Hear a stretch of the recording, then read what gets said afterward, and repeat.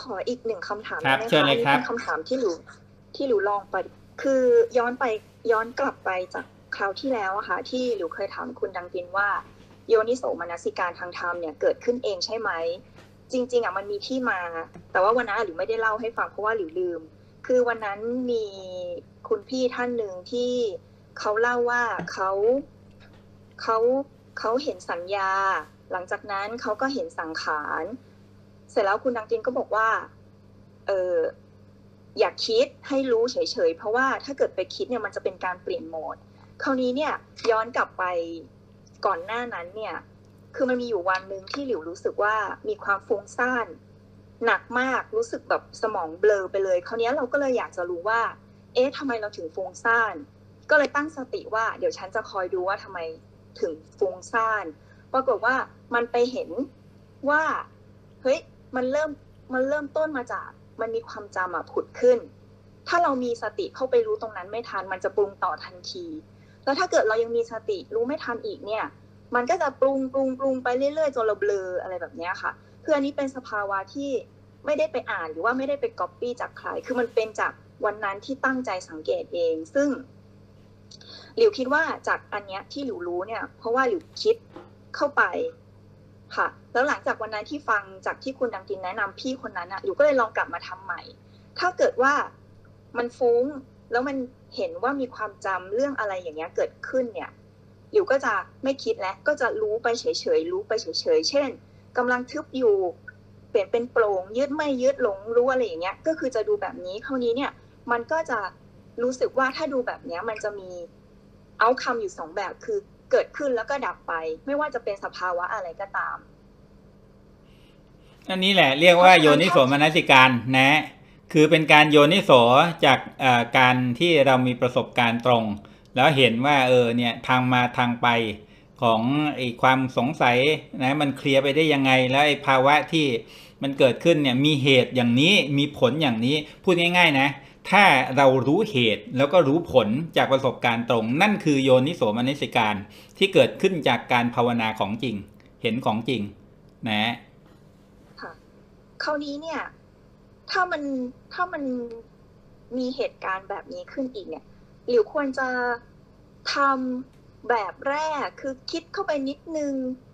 หรือแค่ดูเฉยๆ คือไม่ต้องไปนิยามว่าสภาวะที่เกิดขึ้นเนี่ย มันเป็นความจำหรือว่ามันเป็นความฟุ้งซ่าน คือแค่ดูว่าตอนเนี้ยใจตรงกลางหนัก แล้วตอนเนี้ยโปร่งแล้ว เพราะว่าเรากำลังมีสติรู้ทันอยู่ ตอนนี้กำลังคว้าเอาความจำเข้ามา ตอนนี้คลายออกไปแล้ว คือ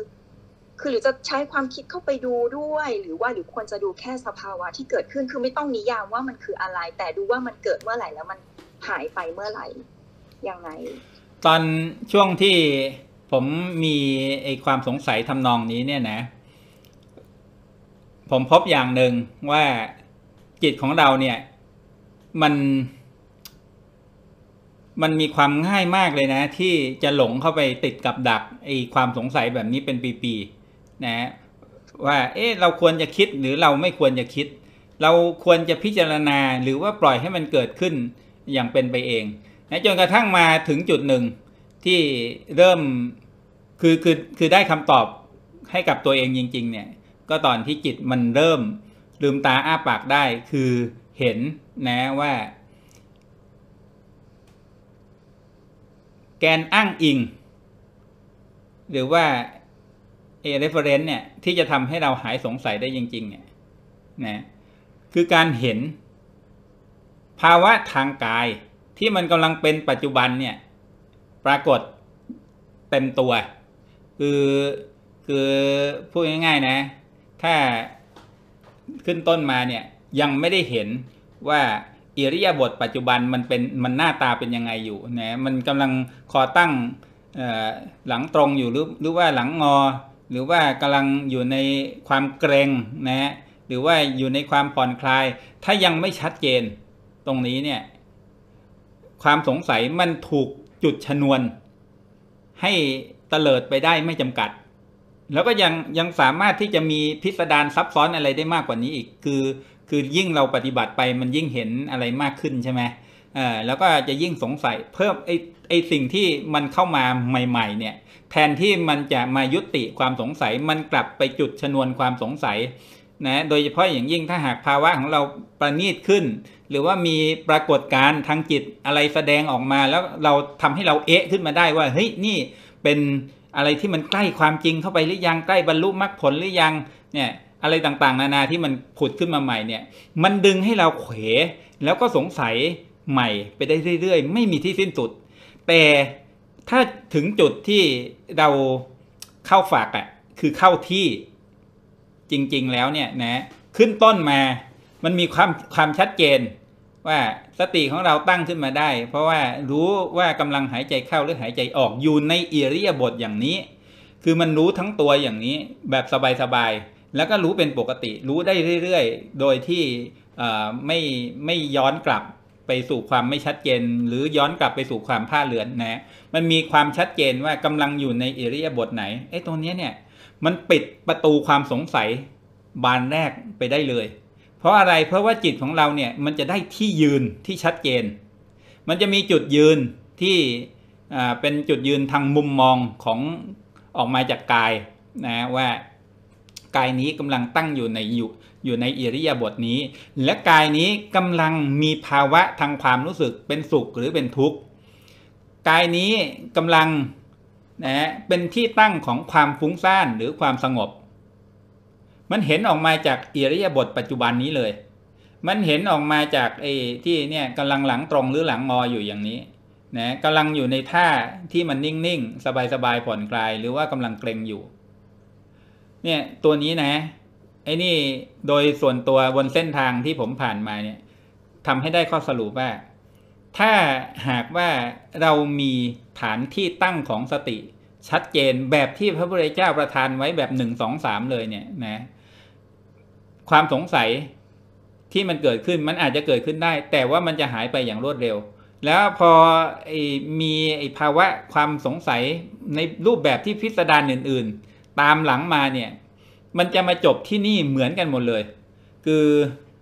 เรากลับมารู้ก่อน ว่าหายใจเข้าหรือหายใจออก อยู่ในอิริยาบถนั่ง คอตั้งหลังตรงหรือว่าหลังงอนะเอาเอาจุดยืนตัวนี้ให้ได้ เหมือนกับเราได้เบสิกเราได้ที่ยืนที่น้ำตื้นแล้วเนี่ยนะมันจะขาแข็งขึ้นเรื่อยๆ แล้วก็มีความมั่นใจว่าเราก้าวลงไปเนี่ยนะในทางธรรมที่มันลึกลาดลึกมีความลาดลึกเหมือนกับทะเลเนี่ย มันจะมีความมั่นใจว่าขาเราเนี่ยยังไปถึงอยู่หรือเปล่า หรือว่าเรามีความสามารถที่จะว่ายน้ำนะว่ายน้ำลึกแล้วหรือยังนะการที่บางทีเนี่ยเราเห็นอาการทางจิต แล้วเราไปดูมัน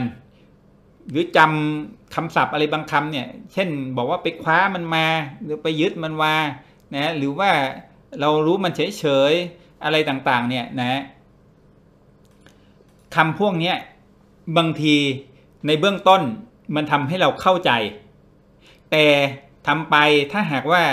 มันยังอยู่ในใจเราอยู่ตลอด มันจะขังเราไว้ มันจะมันจะมันจะให้เราอยู่กับตรงนั้นเลยนะ แล้วก็ไม่กลับมาถึงสภาพความเป็นกาย สภาพความเป็นใจที่เป็นปัจจุบัน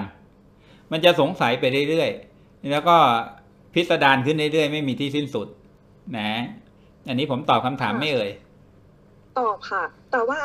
หนูขออีกนิดนึงนะคะ คือ คือไอ้ที่มันสงสัยเนี่ยส่วนใหญ่มันจะเป็นจังหวะที่ลมหายใจมัน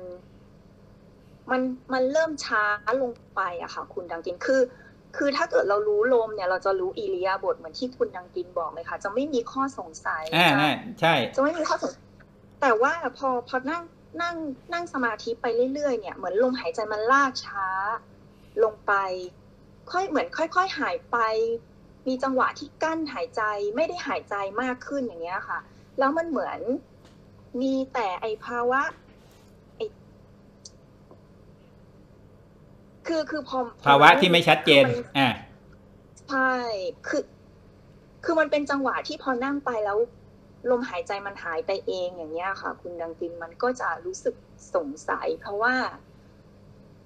อยู่ไม่ได้มีอยู่ไม่มีตัวเทียบอย่างเงี้ยค่ะ อ่าเนี่ยเราต้องทำความเคยชินนะ ว่าเวลาที่ลมหายใจไม่ชัดเจนเหมือนช่วงแรก ๆ อะไรที่มันมาชัดเจนแทนที่ อย่างเช่นภาวะของจิต อย่างเช่นความคลุมเครือ อย่างเช่นอาการเหม่อหรืออาการที่มันมีสติอยู่กับจิต เฉพาะหน้านะมันต้องมีภาวะอย่างใดอย่างหนึ่ง ถ้าหากว่าสติของเรายังคมอยู่นะ มันต้องมีสภาวะอย่างใดอย่างหนึ่งของใจที่กำลังปรากฏ มาแทนที่ลมหายใจ เราให้ดูนั้นแหละนะถ้าหากว่าเราสามารถดูสิ่งที่มาแทนลมหายใจได้ เราจะไม่สงสัย และอันนี้มันจะเป็นการต่อยอดขึ้นมาจากเบสิกเบสิกคืออะไรเบสิกคือสิ่งที่เห็นได้ง่าย ๆ ชัดๆ จับต้องได้ อย่างเช่นลมหายใจเข้าออก พอพ้นจากลมหายใจเข้าออกมา อันนั้นต้องอาศัยความเข้าใจ หรือมุมมอง ที่เรามีเป็นทุนไว้ก่อนว่าอะไรก็แล้วแต่นะ มาแทนที่ลมหายใจเราจะดูสิ่งนั้นแหละ โดยความเป็นของไม่เที่ยงไม่แตกต่างจากลมหายใจ นี้มันจะยากตรงที่ลักษณะของจิตบางทีเนี่ยมันคงสภาพอยู่อย่างนั้นนาน มันไม่ได้เปลี่ยนไปเปลี่ยนมาอย่างรวดเร็วเหมือนกับลมหายใจ อันนี้เราก็ต้องทำไว้ในใจว่าเออถึงแม้จะเป็นสภาพทางใจที่มันตั้งอยู่นาน เราก็จะดู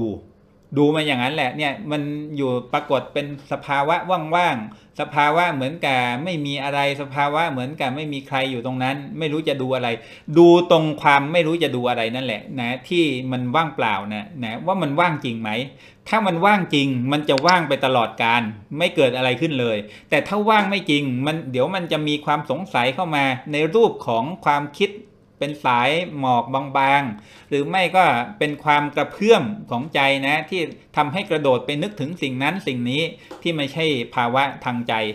ในตอนนั้นนะการที่เราสามารถสังเกตเปรียบเทียบได้นะจำได้ว่าเออจะต้องดูยังไงเนี่ยมันจะทำให้ความสงสัยหายไปเช่นกันนะเพราะฉะนั้นถ้าตอนช่วงลมหายใจที่มันแผ่วลงเนี่ย ก็ไม่ต้องไปนิยาม ให้ดูความไม่เที่ยง ให้เรื่อยๆให้หันมาดูเดิสิ่งที่มันปรากฏแทนลมหายใจนะค่ะอะไรที่มันเด่นไม่ต้องก่อนให้ดูอันนั้นก่อน ถ้าลมหายใจหายไปลมหายใจไม่เด่นแล้ว มันต้องมีสภาวะบางอย่างทางใจขึ้นมาแทน เช่น รู้สึกว่าว่างๆ ชืดชืดๆเฉยๆ หรือว่ารู้สึกสดชื่น รู้สึกมีสมนัตนะ มีความเบา มีปิติ นะอะไรอย่างหนึ่งที่มันปรากฏขึ้นแทนที่ลมหายใจนั่นแหละ ที่เราจะต้องดูต่อนะครับ ไม่ต้องวกกลับมาไม่ต้องหายใจไม่ต้องไม่ต้องมาที่ลมหายใจโอเคค่ะค่ะขอบขอบพระคุณมากค่ะโอเคณหมอครับ อนุโมทนาครับคุณหลิวค่ะ